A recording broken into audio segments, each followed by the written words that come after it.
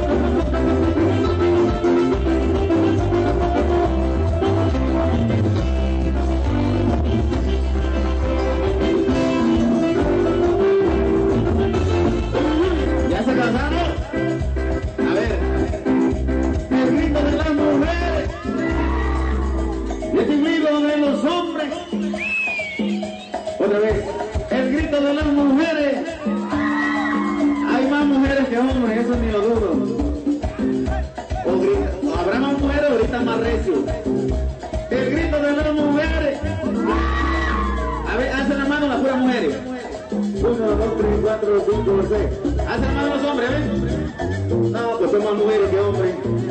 Dice que hay siete mujeres para cada hombre. No me explico por qué yo nomás tengo una. Por ahí andarán las otras perdidas.